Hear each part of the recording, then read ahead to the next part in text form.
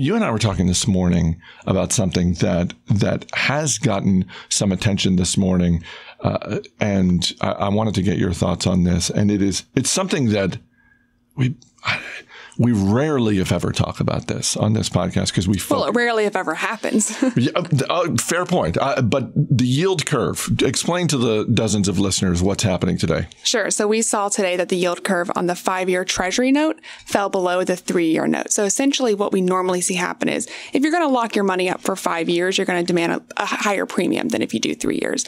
So it's strange if ever, when it happens that a three year note has a higher yield than a five year note, um, or any type of, of, you know, tenure there. So a 60 day bond to a 10 year bond. I mean, it's just stuff that when you think about uh, a market shouldn't happen. So when this happens, it's considered by many investors a very strong predictor of a recession. Um, and it's important to note that a lot of people saw this coming for a long time. The yield curve has been flattening, largely due to the fact that interest rates have been rising. And we talk a lot about investor fears and investor sentiment. That pays into it a lot. So when you think about an investor, if you're scared about the economic growth, for the next 10 years. You're going to buy a 10 year note, um, something that locks up your money, that guaranteed rate of return for a long period. What that does is it pushes, that, pushes down rates on the earlier notes, which causes the Fed to raise the rates on those notes to try to get more investors to buy into the shorter term notes, which in turn raises those rates and causes an inverse yield curve. So when I think about it, I don't like to think about it as being a predictor of a recession more as it is a predictor of the economic conditions that make a recession more likely. Because ultimately all it's doing is reflecting the, the fears and concerns that we have as investors.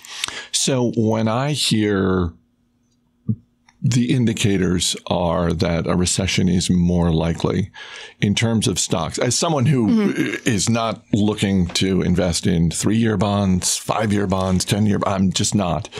So as someone interested in stocks, when I think about that, um, one of the first places that my mind goes is discretionary spending stocks. And for me, the classic example is Dave and Buster's that I just sort of look at Dave and Buster's as a business that almost certainly is doing better in booming economic times than in recession times. Does the likelihood of a recession or the increased likelihood of a recession uh, affect your thinking at all as an investor? Even so far as these stocks I was looking at, uh, I'm going to put them on the back burner and I'm going to pay a little bit more attention to these other stocks that I think might do better during a recession? So I had a great conversation with my colleague Jim Mueller today, um, and he kind of talked a bit about that same you know, we look at the economy and we think, oh, the economy is going to do poorly. I'm not going to buy into discretionary stocks. Uh, but it's important to remember that we're long-term investors. As, as Jim pointed out, you know, a recession, even the Great Recession, doesn't last three to five years. You don't see something that's protracted that long in the stocks all made a comeback. So I kind of agree with you to the extent that doesn't really matter to me. I'm going to be buying all the way to the to the bottom. Um, I do think that it's interesting when you think about the different plays you can make in a market that is maybe in the later stages of an economic cycle versus very early on. For example, very early on buying into the home buyers like Toll Brothers, and the later stages maybe not buying into Dave and Buster's. But ultimately, I think as long as you're buying into stocks and companies that you're confident about and you're planning on holding them over the long term, uh, blips like recessions, which really are blips in the long run. Um, in the short run, much. In the short one they're boy, very, very boy, hard to hurt. deal with. Um, and I, I, think it's important to think back to the recession that we saw in 2008.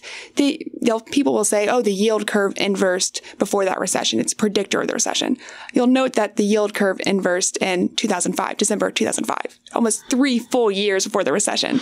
And it was more a reflection of the fact that the Fed was rising in the short-term rates because they saw low rates were causing a bubble in the housing market and they're trying to deal with that. So it was a representation of those consumer fears, not necessarily like the, the actual yield curve itself does not cause the recession. It's a symptom of a larger problem that we're seeing.